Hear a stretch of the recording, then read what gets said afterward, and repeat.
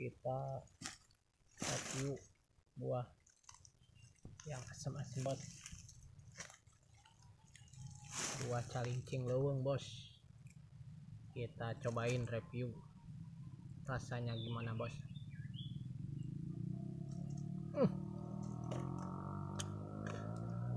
asem banget bos. Uh, asem. Nih. Nih cabe apa nih?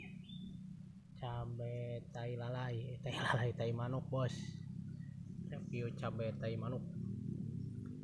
Ini bukan yang nanam burung ini burung. Kita review.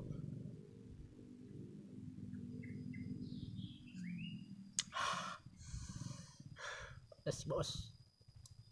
Tapi wangi bos kecil-kecil nih. Cabai rawit bos. Ini calincing leweng. Ini cabai leweng plak manuk. Sekian dulu bos reviewnya. Salam. Pemburu